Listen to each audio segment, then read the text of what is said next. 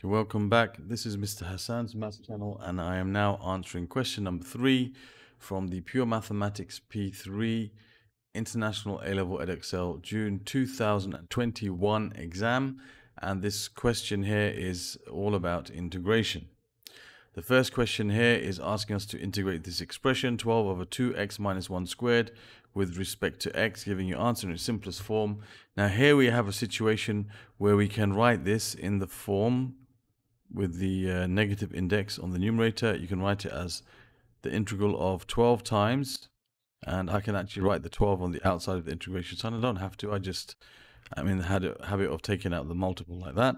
12 times, and you got 2x minus 1 to the power of negative 2, and we want to integrate that with respect to x. So we've just basically written that as a negative index. As we know, 1 over a to the power of n is the same as a to the power of minus n. Same goes with this whole bracket. Now, what we need to do now is integrate this. Now, this can be integrated by what's called reverse of the chain rule or sometimes called by recognition, where basically we see that the the the the the expression is multiplied by a term which is the differential of what's inside it.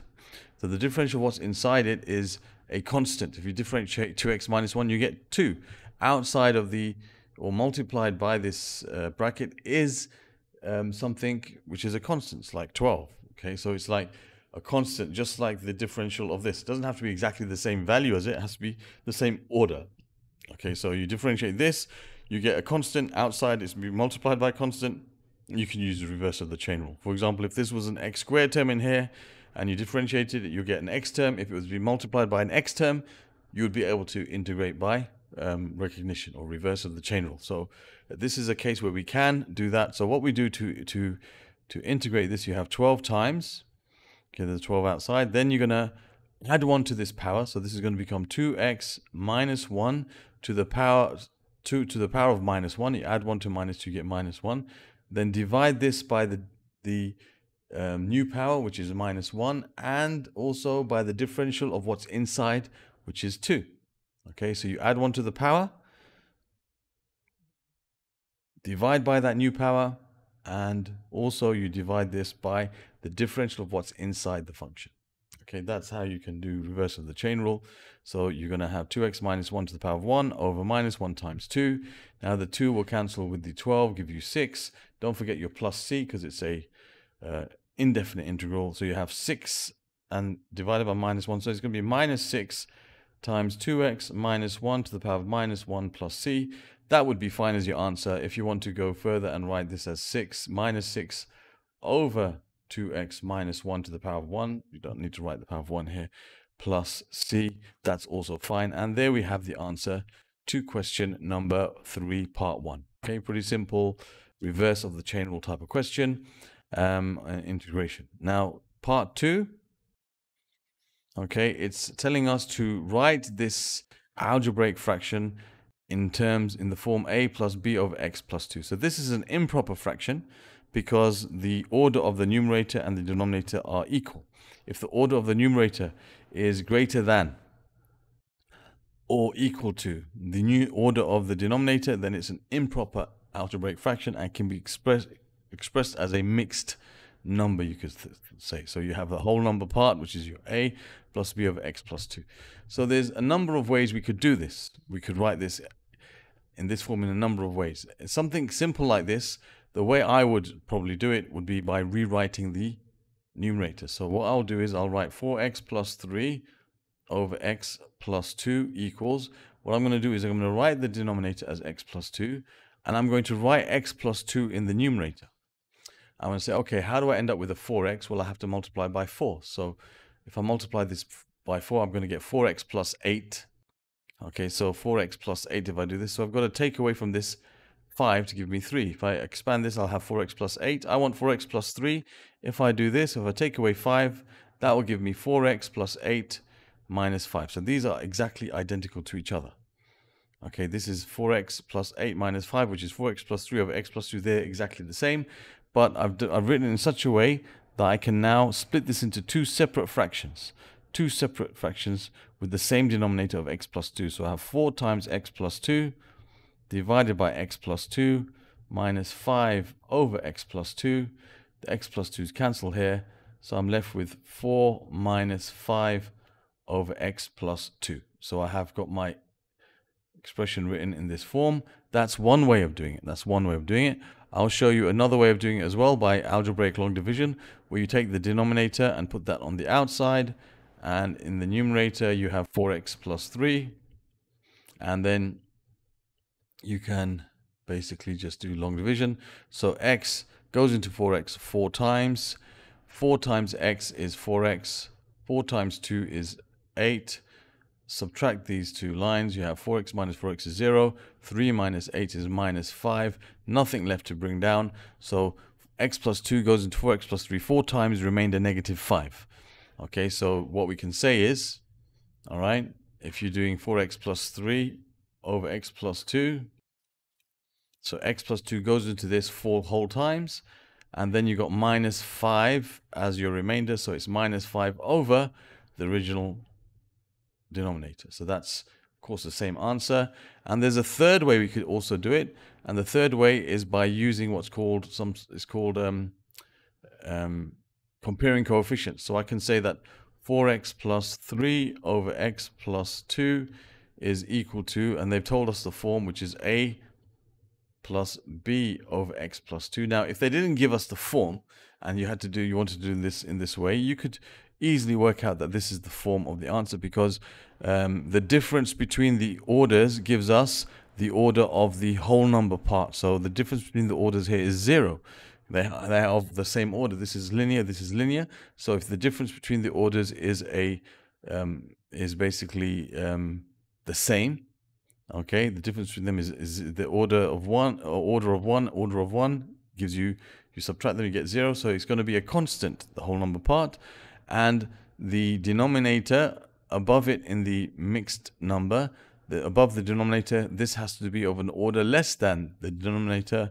And this is linear, one less than a linear is a constant. So both the whole number part and the remainder must be both constants in this case. And if you want to now solve this, what we do is we multiply both sides of this identity by x plus 2, in which case the x plus 2 on this side will disappear. And in this case, this will become a times x plus 2 plus b. And then we can then, for example, we can say compare the x's. So if we compare the x's, on this side you have 4, on this side you have ax, there's no other x terms, so a equals 4. And if we compare the constants, we say on this side we have 3. If we expand this, we'll have 2a plus b as our constants. We know a is 4 already, so we have 3 equals 2 times 4 plus b. So 3 equals 8 plus b. Therefore, b is equal to 3 minus 8, which is negative 5. Therefore, you're going to say a is 4 and b is negative 5. So minus 5 over x plus 2. Okay, so I mean, these are three separate ways of, you know, um, expressing this in the form given. I personally prefer the first way for something simple like this.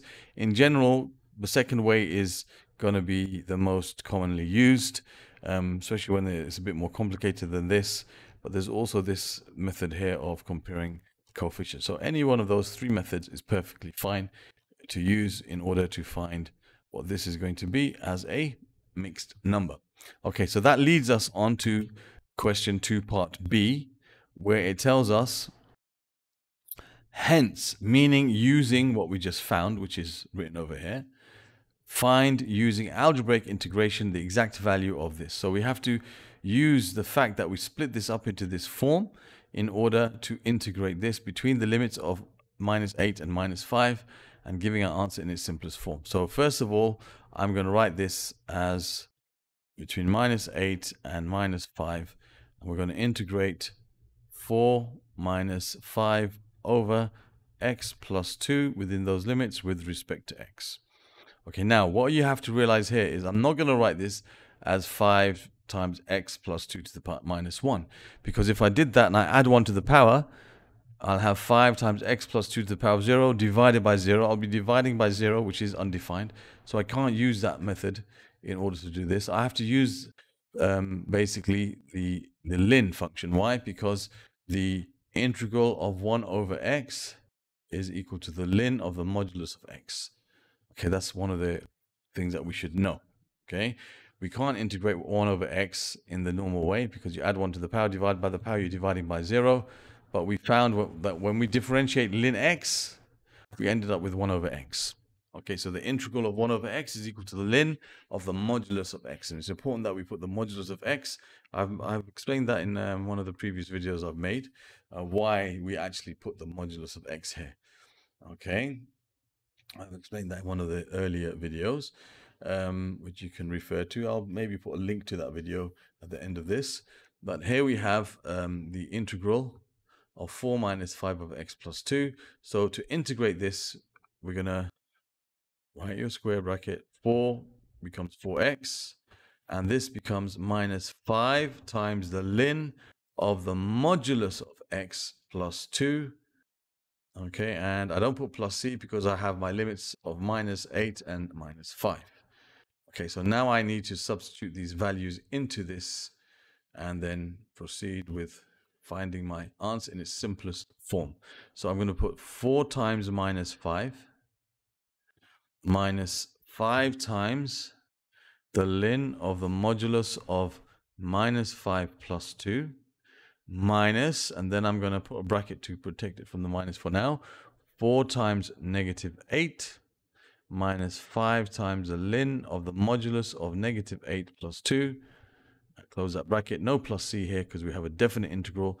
That's going to give you negative 20 and you're going to have a minus 5 times ln of the modulus of negative 3 minus, and this is going to give you negative 32 minus 5 times the ln of the modulus of negative 6. Now, the ln of the modulus of negative 3 is a ln of 3. Okay? Because we can't find the ln of negative 3, we have to write this as a ln of 3 because we're finding the modulus of negative 3. The absolute value of negative 3 is 3. The ln of negative 3 actually doesn't exist. It's undefined. And here you're going to have minus, one, minus times minus, which is plus. So you have plus 32. And you're going to have plus 5 times the ln of 6. Okay, so you have minus 20 plus 32, which gives us 12. And I'll write it in this way so it's easier to deal with. You have 5 ln 6 minus 5 ln 3. What I'll do is to make it easier, so put my equals here, I'll have this as 12 plus, I'll take 5 as common, then I have ln 6 minus ln 3, and I'll use my law of logarithms when I have a subtraction, um, you know, of, of the log to the same base, which this is log e log e ln. Okay, um, I'm gonna this can combine together as a division. So this is 5 times the ln of 6 divided by 3, which is 2. Okay, so you end up with 12 plus 5 ln 2. And there's the final answer in its simplest form. Okay, and that, there we have it. If you wrote it as 12 plus ln of 2 to the power 5, which is 32, that would also be acceptable. Okay, but this is fine. Okay, so there we have the answer to 3 part B. Okay, so the important point here is when you have something like this where the bracket would become to the power of uh, negative 1 on top, you can't use that method. You have to use ln. Okay, um, so 5 ln, and you have to use a modulus of that expression. You can't just use it on its own. It's the modulus of that expression. Okay. Okay, so that's the end of this question, which is question number three from the P3 paper. Other questions from this particular paper can be found by clicking on the link that will appear somewhere over here at the end of the video. Other questions about integration in P3 will be appearing in this link over here. P3 is, um, um, so integration is quite new to this. It didn't used to be in the old C3 before. So um, it's something that was only in the C4. Now it's in, part of it is in, in P3 and part of it now is in P4. Um, so this type of thing like uh, integration by recognition and this ln type of integration and also integration dealing with trig functions also something which appears in P3 now. Um, you can subscribe to my channel and this link over here. You can find other P3 papers you might want to watch, linked on the top on the cards. And in the description, you can find links to other um, international A-level Edexcel papers such as P1, P2, P4, M1, S1, also some IGCSE Cambridge papers. There's links to questions from those I've answered. Thank you for watching and see you soon.